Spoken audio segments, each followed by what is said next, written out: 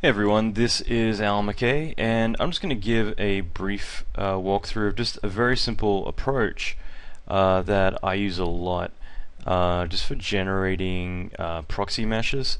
Because a lot of times you're given geometry to work with with FumeFX or RealFlow or other different particle systems, and the whole idea is that you want to be able to um, generate particles moving over it and everything else. And basically what happens is that there's holes in it. It doesn't quite work. Um, you know a lot of different things. And because of that it can really kind of screw you up. Um, so rather than telling a modeler to go and kind of build proxy geo which they may do a good job of or maybe they don't have time or maybe it's just going to come back wrong or they're just going to hit optimize and send it back to you. Um, let's say you had like a, car or something that needs to interact with fluids and it has like hundreds of different parts. And basically you don't have time to remodel that and you can't use that geo because it's too broken apart. Particles aren't going to be able to run from one surface to another very consistently. Um, a perfect example is this where we want like particles dripping and splashing over geo um, a teapot by definition is about three or four different objects and has holes. It's very broken up mesh. Um, this is a way to generate a proxy mesh very quickly that you can then use to run particle systems over. So we're going to walk through how to use this and then from there you can do it on characters or anything else you want to do. So let's begin. Okay, so to begin, let's just say I have a sphere and what we're going to do I've just got this tool here I've made, so click that, pre-roll, and V-Ray installed. Okay, so let's move my rain gizmo up a bit higher, and play this, I might make it red so it's a little easier to see.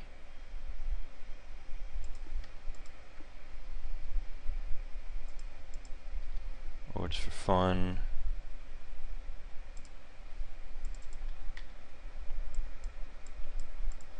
Make it a bit transparent.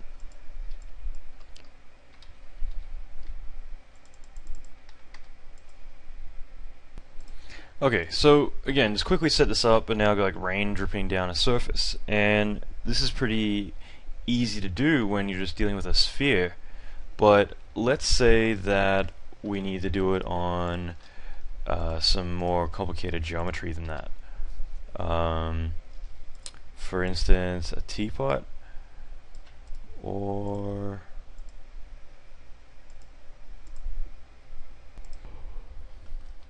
So I've just loaded up this character and just going to get the basics of her, but uh, this is just a, a model that ships with Max. Now, this character has multiple objects. You can't really see it, but there are multiple objects and open surfaces, the whole shebang. Um, it's going to collapse all this down, attach the hair. Now, if I were to do the same thing on this system, pick execute, and run the same thing again. We'll notice everything's exploding and not really working the way it should. Now that's a huge problem. Um, basically it's just because the surface is kind of messed up. And obviously there's more worse situations than this. This just has a lot of open uh, surfaces. We run an STL check. We got to see that. Yeah a lot of errors. Um, at the same time, like there's other situations where the geometry is too complex or just very kind of weird, and you might just want to simplify the geo so that way it's just something that FumeFX or RealFlow or a lot of other things would be able to handle a lot more effectively. So you just want to clean up the mesh, but you don't want to go and remodel and make a proxy model all the time. So there's a workaround for that, okay? And that is that um, if I, am just going to hide everything for a moment. In fact, I'm just going to reload the scene.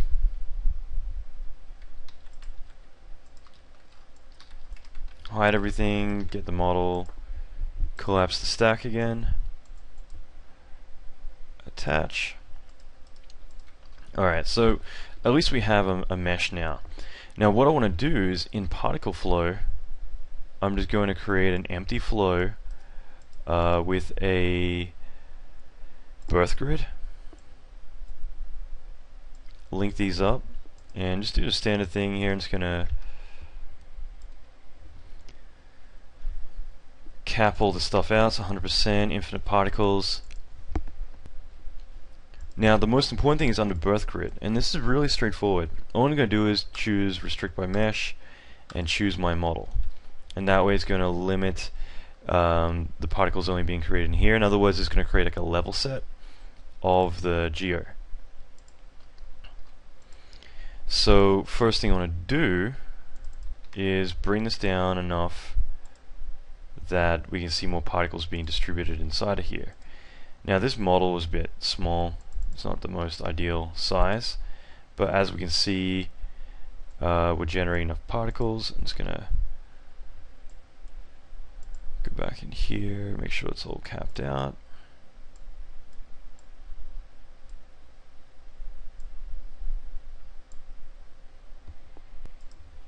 Anyway, so basically I end up with something like this.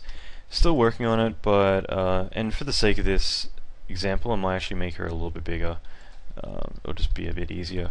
But one thing to make this a bit better is I'm going to go back to this area and cap the holes. And that at least will close the surface up, even though it's not ideal. Um, now when I do this, it'll have a better understanding as to what it needs to do. And we can start to see a, a mesh being generated here. Now, what I might do is continue with this density, turn on interactive update, and that way we're getting something a bit better. And I'm pretty happy with that. I'm going to hide my mesh. So this is what I end up with, which looks pretty good to me. Now, that was just creating a level set uh, of what we wanted. And that's just a, a neat way for us to be able to generate this information very quickly for our model. Now the next step would be that once we've created this um, point structure or level set, um, I want to then go in and basically I want to go into frost so make sure you go frost. And I'm just going to pick this model. Now right now the scale is a bit off, so let's just bump the scale down a little bit. And there's that one little weird chunk that's happening there. So disable frost for a second.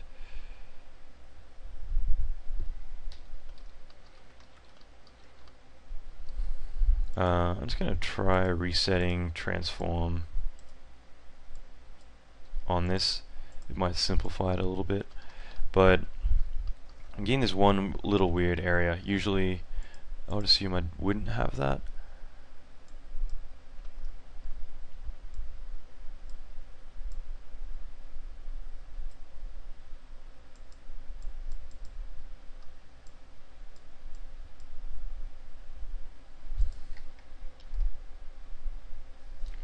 Either way, it seems to have fixed it. Okay, that was weird. Anyway, so this is all working. Go back to Frost. And I'm just going to focus on this for the moment.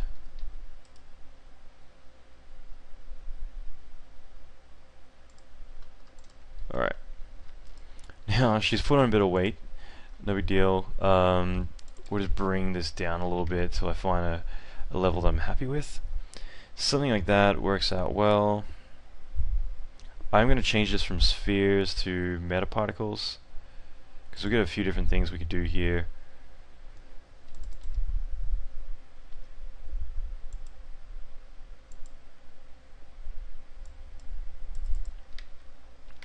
Just so we can look at our options. Um, this one here works pretty well. Um,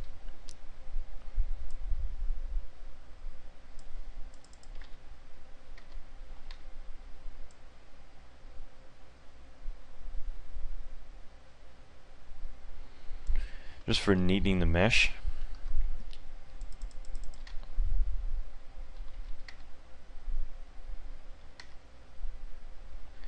And the other option is to actually just use metaballs. So it's up to us which one we want to use.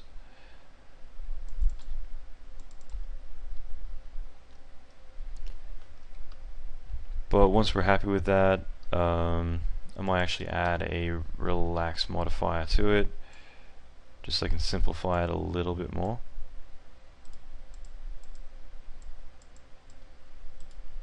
Collapse it. And we have our level set geo. Only problem is it's really dense. So I'm just going to add a Pro Optimizer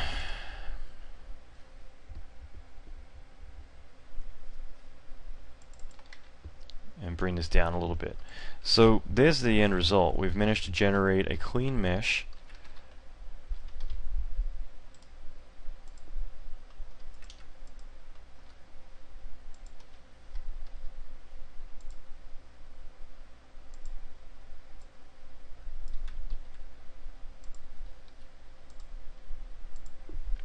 based on that which is accurate and it's completely clean, uh, no holes or anything in it, freshly generated that we can work from. So if you were a tank or something, or something a bit more complex, uh, like an army tank or car or whatever, with a lot of objects, this would be the best way to actually go about generating a clean, stable mesh from it.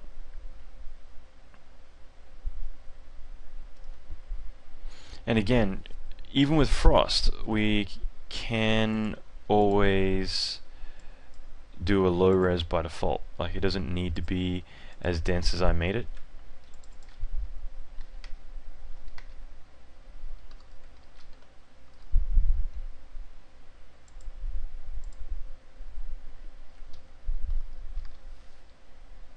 Oops. Uh,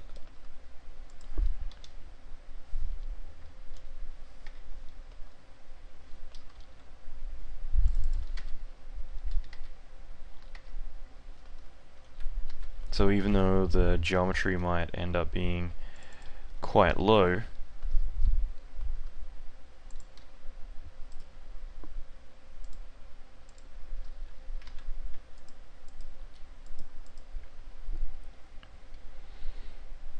I can set my uh, viewport here to be a lot lower as well. So as long as it's a closed surface, that sort of thing should work fine, and we still have controls to kind of blend it out a little bit. So that sort of thing as well is a pretty neat way to go about it. Um, like I said, there's a few different ways that it can be approached.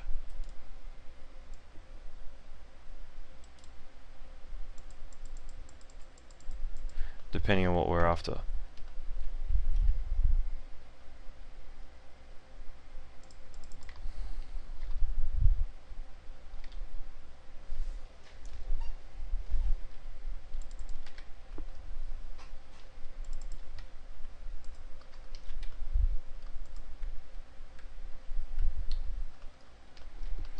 But anyway, that's just a quick way to be able to generate this. So I'm just going to save this out as Queen mesh. And I'm just going to run this script again.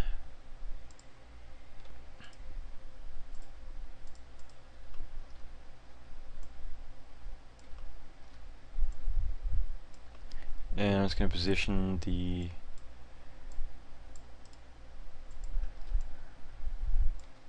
rain system.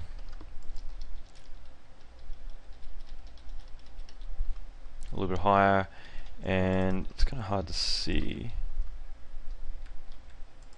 I make this girl black. There we go. Kind of hard to see, but the dripping uh, is all working perfectly on the system now. So the scale of my uh, character is a little bit off. I haven't really been measuring this, but as we can see, uh, it's all working fine. So FumeFX, everything else would work. Um, no problem at all with this. And yeah, so I mean, it's just an easy way to generate um, effects into a shot.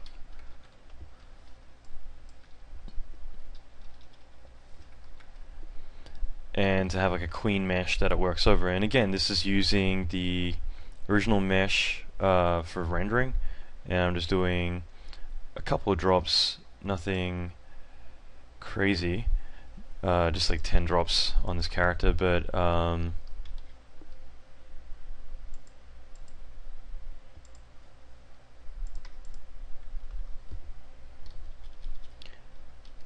you know, obviously it, the particles are interacting with the proxy mesh which is hidden and I have these particles being generated over the surface and it all moves over it perfectly. So that sort of thing works out really well. And uh, yeah so this is something that would work with uh, Fume and every other system out there but it's just a very easy and intuitive way to uh, build a clean mesh. So like I said, if you had a tank or something that had like a lot of different parts in it, uh, this would allow you to quickly generate something that's completely clean uh, and flawless through uh, level set and frost together. And if you don't have frost, then you can always use blob mesh in the create panel, um, compound objects, blob mesh. And it's a little slower, but you only need one frame, then you just collapse it down, and you're good to go. And if you have any questions, you can visit my website at www.allanmckay.com or email me at amckay at allanmckay.com. Excellent. Thank you.